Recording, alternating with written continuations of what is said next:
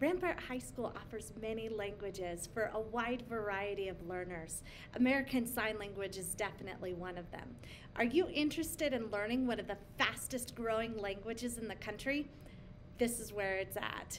You have an opportunity to learn a language that you get to use daily. You don't even have to travel internationally either, which is one of the most exciting things to hear when students come to my class after being able to interact with a deaf person and help them in their part time jobs or even just interacting with them in general. And as a native speaker, I have a wealth of knowledge and experience that I get to bring to the classroom.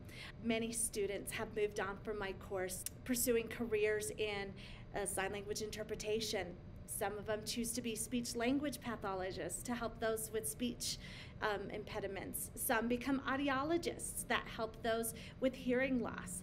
Um, and it's not just learning how to deal with those with disabilities, but it's also a really fun language that you can use all the time.